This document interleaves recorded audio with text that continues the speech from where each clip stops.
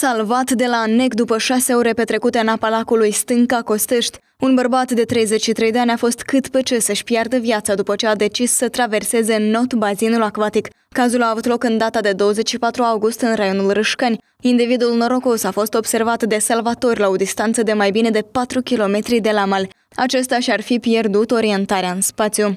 Persoana nu a panicat, dar nu a reușit să ajungă la mal. Astfel, acesta s-a aflat preț de șase ore în apă.